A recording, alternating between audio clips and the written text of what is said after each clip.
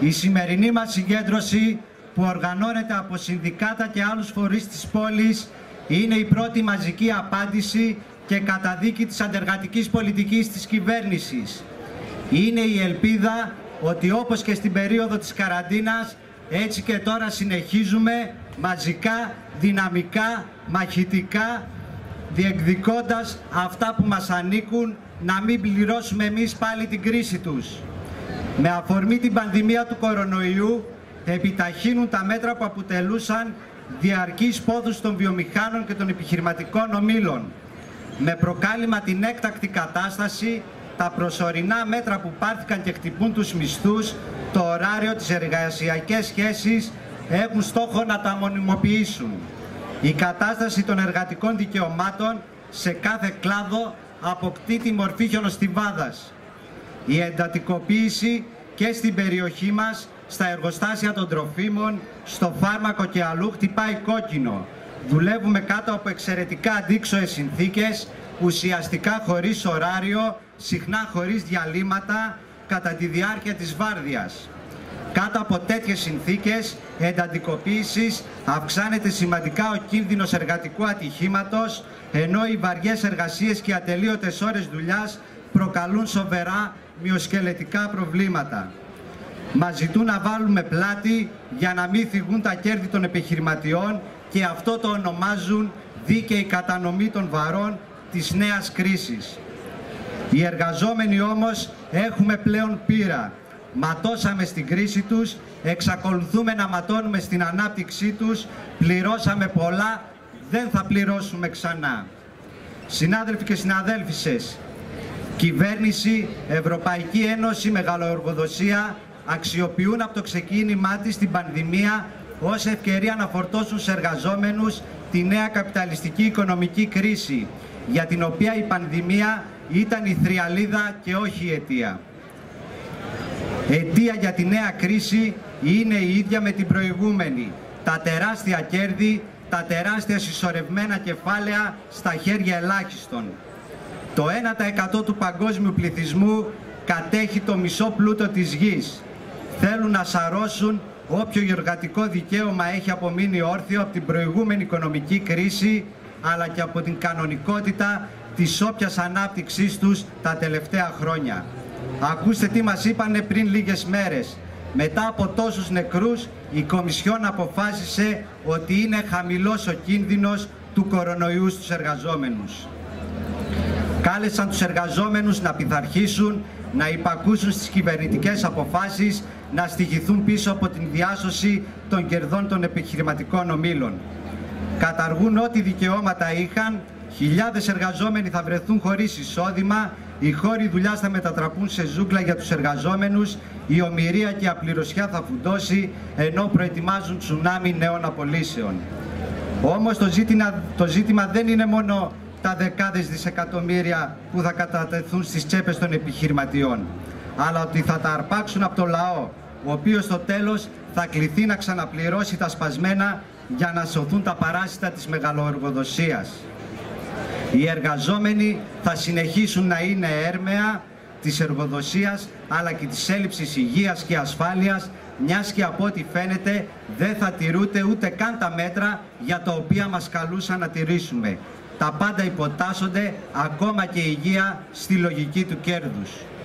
Συναδέλφες και συνάδελφοι, οι απαιτήσεις του ΣΕΒ της μεγαλοεργοδοσίας με αφορμή και την πανδημία έγιναν πράξεις νομοθετικού περιεχομένου και ήρθαν για να μείνουν και να ενισχυθούν, να προσθεθούν στους εκατοντάδες μνημονιακούς νόμους που ψήφισαν όλες οι κυβερνήσεις Νουδού Πασόκ ΣΥΡΙΖΑ. Πανηγυρίζουν οι βιομήχανοι, οι εφοπλιστές, οι τραπεζίτες και τα κόμματά τους για το Ταμείο Ανάκαμψης. Έχουν ρίξει πολύ χρήμα στα μέσα μαζικής ενημέρωσης για να συσκοτήσουν την πραγματικότητα. Η πραγματικότητα είναι ότι οι νέες επιχορηγήσεις και τα δάνεια θα κατευθυνθούν στις τσέπες των μεγάλων επιχειρηματικών ομίλων, όχι στους εργαζόμενους. Είναι ψέμα ότι το χρήμα δίνεται απλόχερα και τζάμπα χωρίς νέες θυσίες. Σε κάθε κλάδο, σε κάθε επιχειρηματικό όμιλο, οι εργοδότες έχουν βγάλει τα κομπιουτεράκια και υπολογίζουν λεπτομερώς ποια είναι εκείνα η σύνθεση των νόμων που ψήφισε η κυβέρνηση ώστε να μειώσουν το εργατικό κόστος, να τσακίσουν κι άλλο τους μισθούς.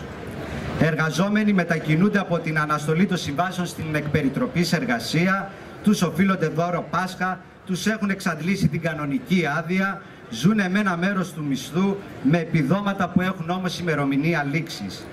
Χιλιάδες κινδυνεύουν να μείνουν χωρίς καθόλου εισόδημα, άλλοι να βγάλουν το χρόνο με λιγότερα από 2.000 ευρώ, όπως οι εποχικοί εργαζόμενοι στον τουρισμό.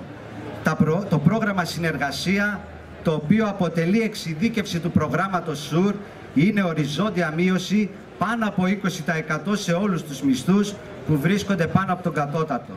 Ο στόχος είναι να πέσει κοντά στα 550 ευρώ η μεγάλη πλειοψηφία των μισθών. Μπροστά σε αυτή την κατάσταση, τα ταξικά συνδικάτα καλούμε όλους τους εργαζόμενους να πειθαρχήσουν, να μην αποδεχθούμε τη λογική του δεν μπορεί να γίνει αλλιώς. Να δώσουμε απάντηση με την οργάνωση στα συνδικάτα, να πάρουμε μέρος μαζικά στις δραστηριότητες των σωματείων μας. Ο κάθε ένας εργαζόμενος, ιδιαίτερα στον κλάδο του, να πάρει τη θέση που του ανήκει. Όχι στη μυρολατρία και τη μιζέρια, αλλά στην οργάνωση του αγώνα να γίνει δύναμη μαζί με όλους τους συναδέλφους του, να πάρουν απάντηση κυβέρνηση και βιομήχανη. Έχουμε ζήσει πολλά συνάδελφοι. Το 2020 δεν είναι 2010. Η πλειοψηφία του κυβερνητικού και εργοδοτικού συνδικαλισμού, η ηγεσία της ΓΕΣΕΕ βαράει στον ίδιο σκοπό. Τη στήριξη των μεγαλοεργοδοτών με τα εργατικά δικαιώματα σε μόνιμη καραντίνα συνδιαμορφώνουν μαζί με την κυβέρνηση και το ΣΕΒ τα αλλεπάλληλα χτυπήματα στα εργατικά δικαιώματα, η στάση τους πλέον δεν προκαλεί καμία έκπληξη σε κανένα εργαζόμενο. Νυχτερίδες και αράχνες στα γραφεία των δυνάμων του εργοδοτικού κυβερνητικού συνδικαλισμού των ΠΑΣ και ΔΑΚΕ στο Εργατικό Κέντρο Θεσσαλονίκης. Τρεις μήνες ανελαίητης επίθεσης σε κάθε κλάδο με προσπάθεια να τσακιτιστεί κάθε εργατικό δικαίωμα. Στην αντίθετη όχθη, οι ταξικές δυνάμεις ήταν στο πόδι από την πρώτη μέρα της καραντίνας με παρέμβαση σε όλους τους χώρους δουλειάς για την οργάνωση των εργαζομένων, για τη διασφάλιση της υγείας τους, για την αποτροπή αλλαγής των εργασιακών τους σχέσεων. Συνεπείς στο καθήκον τους οι άνθρωποι της εργοδοσίας στο εργατικό κίνημα και ταυτόχρονα με την αναστολή της, της λειτουργίας του Εργάνη και του ΣΕΠΕ για το μόνο που εμφανίστηκαν ήταν για να ενημερώσουν την αναστολή λειτουργίας του Εργατικού Κέντρου Θεσσαλονίκης. Δεν μπορούν όμως να συνέλθουν ακόμη από τις διακοπές γιατί ετοιμάζονται για τις επόμενες. Μόλις χθες απάντησαν στο επαναλαμβανόμενο αίτημά μας ώστε να συνεδριάσει η διοίκηση του Εργατικού Κέντρου. Αλλά και αυτό να γίνει δεν περιμένουμε ότι θα συζητήσουν τα πραγματικά προβλήματα, τις ανησυχίες. Το πολύ πολύ θα βγάλουν κανένα δελτίο τύπου. Αυτοί θα συνεχίζουν τον ύπνο του συμβιβασμού και της υποταγής. Θα τους ξυπνήσει όμως απότομα η εργατική τάξη με τους αγώνες της και ας είναι αυτή η αφορμή για να ξεμπροστασιούν και να φύγουν από το σβέρκο μας.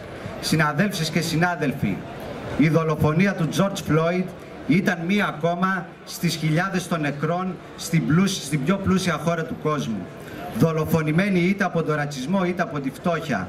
Ο πόνος και η δυστυχία εκατομμυρίων φτωχών Αμερικάνων είναι κοινός με αυτόν των χιλιάδων Ελλήνων μεταναστών στην Αμερική, όπως και των χιλιάδων μεταναστών και προσφύγων στην Ελλάδα που βίωσαν και βιώνουν τον ρατσισμό. Χαιρετίζουμε με περηφάνεια και ταξική αλληλεγγύη τα συνδικάτα, τους συνδικαλιστές και τους εργαζόμενους που αυτές τις δύσκολες και κρίσιμες ώρες στέκονται στον πλευρό των διαδηλωτών και εναντιώνονται πολύμορφα και οργανωμένα στην καταστολή και τη συλλήψη των αγωνιστών. Συναδέλφοι συνάδελφοι, οι εξελίξεις στα ελληνοτουρκικά με την προαναγγελία από τη μεριά της Τουρκίας ερευνών της ελληνικής υφαλοκρηπίδας καθώς και οι κινήσεις των τελευταίων ημερών στα ελληνοτουρκικά σύνορα που ετοιμάζουν νέο γύρο αξιοποίησης προσφύγων και μεταναστών από την πλευρά της τουρκικής αστικής τάξης εύλογα προκαλούν ανησυχία.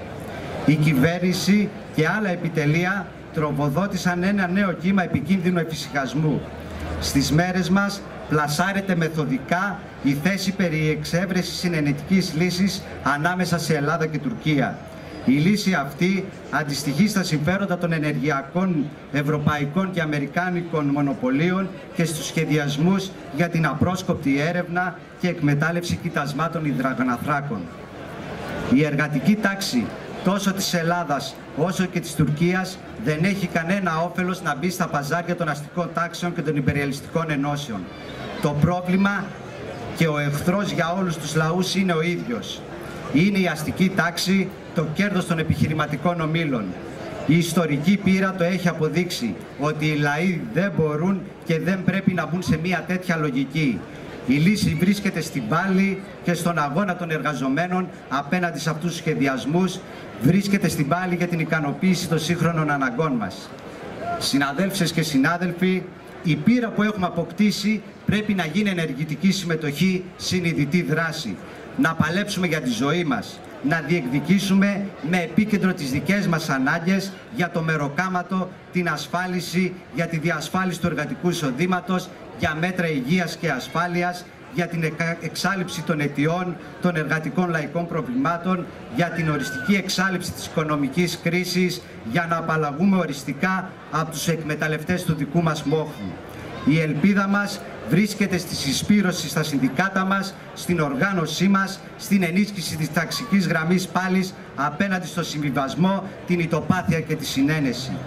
Οι τελευταίες εξελίξεις και η προηγούμενη κρίση μας έχουν δείξει πλέον το δρόμο που δεν είναι άλλος αυτός, από αυτόν της ταξικής σύγκρουσης με την αστική τάξη που έχουν φανερώσει με τον πιο προφανή τρόπο τη γραμμή που πρέπει να ακολουθήσουμε στο κίνημα. Τη γραμμή της πάλης για την κάλυψη των δικών μας αναγκών απέναντι στη γραμμή της αστικής τάξης και του κυβερνητικού συνδικαλισμού που μας κατάτησε να ζούμε στην αβεβαιότητα του αύριο, τη δουλειά των με τα 600 ευρώ, χωρίς υγεία, ασφάλιση και δικαιώματα. Ήρθε πλέον ο καιρός να βγούμε εμείς στην αντεπίθεση με τα ταξικά μας συνδικάτα, με τα πλαίσια πάλης μας που βάζουν μπροστά τα δικά μας θέλω, τις δικές μας ανάγκες. Δεν αποδεχόμαστε την κανονικότητά τους. Η κανονικότητά τους είναι ο συμβιβασμός με την ανεργία, τη φτώχεια, τη ζωή με τα ελάχιστα. Απαιτούμε κατάργηση όλων των αντεργατικών διατάξεων των PNP και όλων των αντεργατικών νόμων κανένας χωρίς αξιοπρεπές εισόδημα να πληρώσουν το κράτος και η εργοδοσία. Καμία μείωση μισθού, απώλεια εισοδήματος των εργαζομένων. Καμία απόλυση, καμία δυσμενής μεταβολή των εργασιακών σχέσεων. Κατάργηση των πληστηριασμών, των κατασχέσεων για την εργατική λαϊκή οικογένεια, απαλλαγή όλων των εργαζομένων από χρέη για ηλεκτρικό ρεύμα, νερό, ενίκιο, τηλέφωνο, ίντερνετ για όλο το διάστημα της καραντίνας και για όσο διαρκούν όλα αυτά τα έκτακτα μέτρα. Ουσιαστική προστασία των ανέργων, επίδομα ανεργίας για όλους τους ανέργους, χωρίς όρους και προϋποθέσεις. Πλήρη, επαρκή και αποκλειστική χρηματοδότηση από τον κρατικό προϋπολογισμό του Δημοσίου Συστήματος Υγείας με προσλήψεις μόνιμου και νοσηλευτικού προσωπικού με πλήρη εργασιακά δικαιώματα. Να ανοίξουν όλες οι δημόσιες δομές υγείας που έκλεισαν όλα τα προηγούμενα χρόνια. Οργανώνουμε σήμερα την πάλη μας απέναντι στους επιχειρηματικούς ομίλους, την Ευρωπαϊκή Ένωση, της κυβερνήσης και τα κόμματά τους. Για να μην πληρώσουμε ξανά για τα κέρδη των εκμεταλλευτών μας, οργανώνουμε την αντεπίθεσή μας για δουλειά με δικαιώματα.